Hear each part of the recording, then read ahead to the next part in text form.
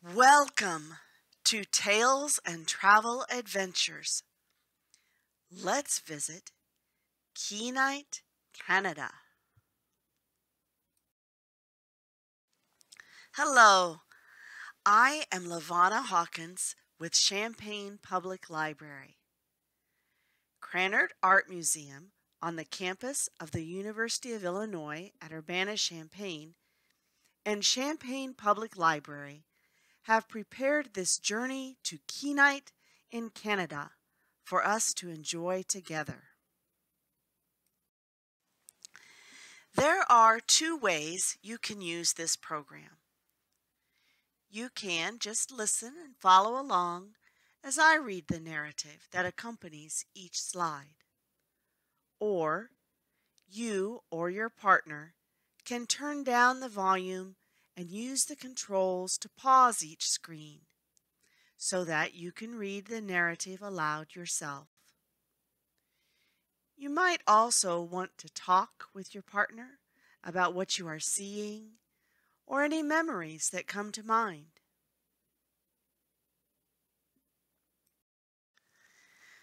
Today, we will visit a small community in northern Canada known for their Inuit art. Kinngait has a population of 1,411 as of 2016, and 22% of the population list artist as their occupation.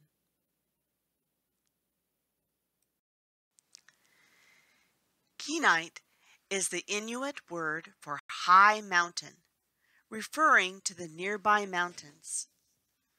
In 1631, the area was named Cape Dorset by Captain Luke Fox. It was known as Cape Dorset until December 2019, when the residents voted to officially rename the hamlet Kinngait, its Inuit name. There are no roads to Kinngait, even the roads within the small town are just gravel or dirt and are not named. Traveling to Kinngait requires an airplane. What words would you use to describe the feelings as this plane rises into the air? What would you see out the window?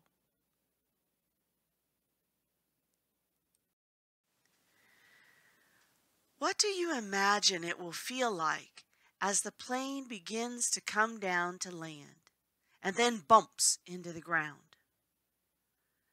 What sounds will you hear as you step out of the plane into the snow?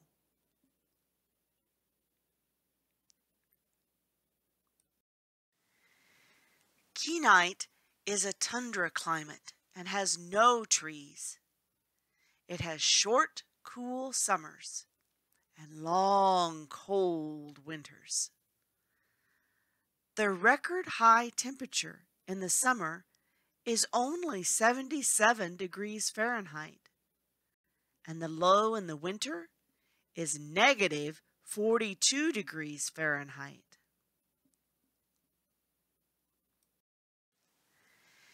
An important part of the Kinngait art community is the West Baffin Eskimo Cooperative, which includes the Kinngait Print Studios.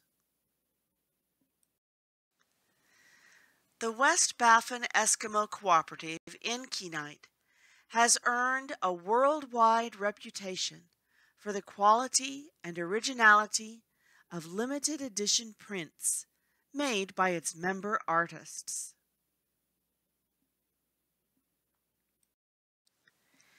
Kinngait artists also make carvings.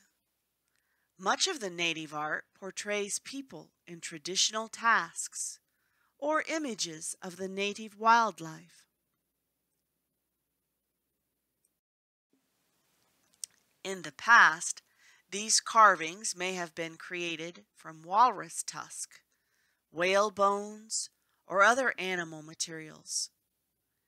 Today, they are largely done in soapstone. This is an example of a soapstone carving owned by Krannert Art Museum. Let's look more closely at this figure and create a story together. You or someone with you may want to pause the video to get a pen and paper and write down the story we imagine.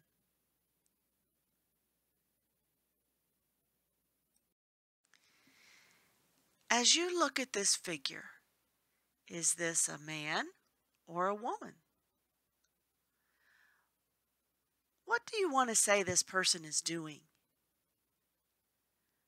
What do you imagine is being carried?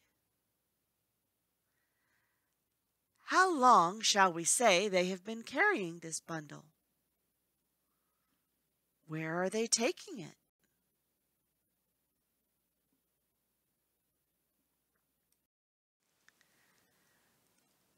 What words describe what this figure is feeling? When you look at their face, what feelings do you have?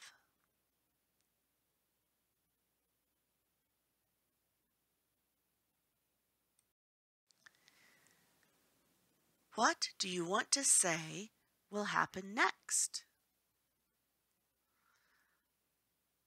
Will happen to the bundle when they arrive?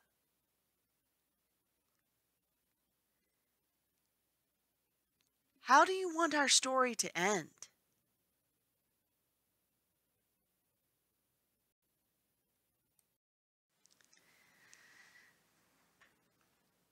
The artists of Kinngait have used their art to share stories of the Inuit culture for generations. When we look at the art, we can hear their stories. Thank you for visiting Kinngait and viewing the art with me today. I enjoyed creating a story with you while we looked at the soapstone carving together. As we part, let's think about this. How are you creative every day?